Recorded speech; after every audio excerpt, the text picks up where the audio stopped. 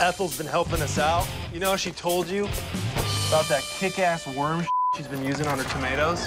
Yeah. Well, it works so good, we decided to use it on this year's crop. You know how I usually grow a couple plants, get us through the summer? Holy. Exactly. Wait, so what's the problem? Forgot about the electric bill. We need nine grand or they're gonna shut the power off to the building. Isn't it wonderful? Mr. Kevin is going to help all the old people who are going blind.